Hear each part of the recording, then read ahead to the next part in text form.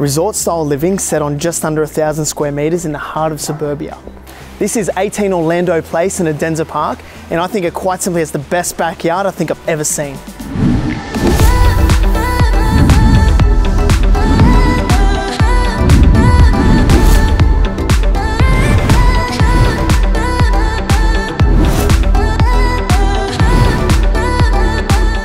Fully renovated home with zero garden maintenance, the family will immediately get to enjoy the alfresco, pool and yard.